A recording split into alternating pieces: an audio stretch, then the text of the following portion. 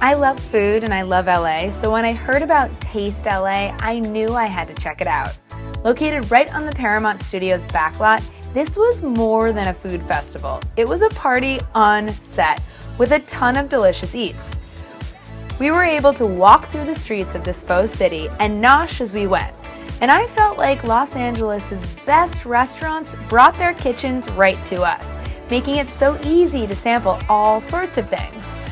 I had everything from tacos to meatballs to ramen to pizza, lobster to ceviche.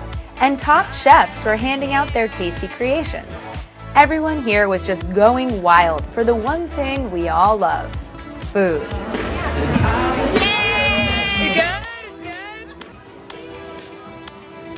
However, if you're thirsty, there were more than enough delicious cocktails, wines, and beers from producers large and small. There were games, giveaways, and just a lot to experience. And no, the lines were not bad. We had no problem getting plate after plate, and there was nothing we wanted that we couldn't have. We even tried the lobster burger from Slapfish. It had one of the longer lines, but it was definitely worth the wait. It actually has lobster all over a burger.